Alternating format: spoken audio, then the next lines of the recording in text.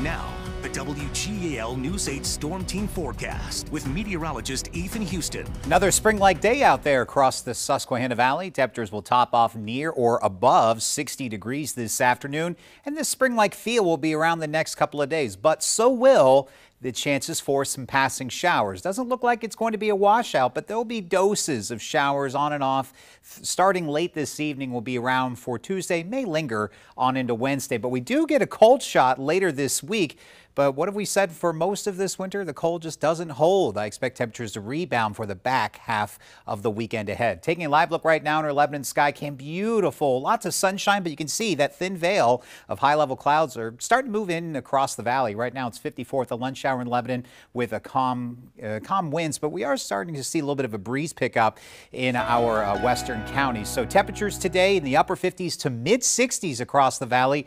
I do expect some evening showers to arrive after sunset, and they may linger into the overnight hours. Most of us will miss out on the rain tonight, but it will remain mild and damp with lows in the low to mid 40s. And then tomorrow, another day up near 60 degrees with those scattered showers. The best chance for those will be midday tomorrow. So here's a look at the rain chances for the rest of your Monday into the overnight hours. Highest chances for those will be between 8 o'clock and midnight, and then just a slim chance of an isolated shower overnight into tomorrow morning. But we're already at 60 60 degrees in York. It's 64 at this hour in Gettysburg and 62 in Chambersburg. And look at the winds. They're primarily out of the south, anywhere from 5 to about 15 miles per hour. We could see gusts as high as 25 miles per hour later this evening. So you could see those thin clouds moving in right now, but it's still quiet on the radar. The rain's starting to move into our very far western portions of Pennsylvania. They're going to be moving in after sunset later this evening. But there is a cold front attached to the storm system, but it is sluggish. It's not moving through until Tuesday evening. So you can see the first batch of those scattered showers arrive after sunset.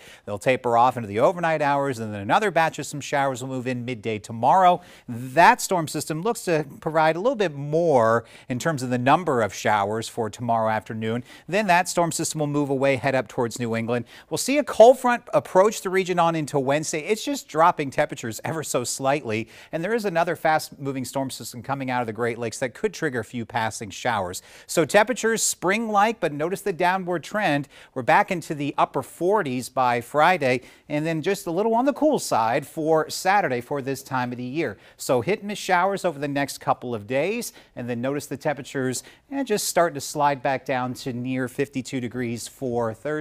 May see a few passing rain or snow showers on Friday. The coldest day of the week is Saturday, but it'll be dry, and then we start to warm back up for the back half of the weekend. All right, little spring-like today.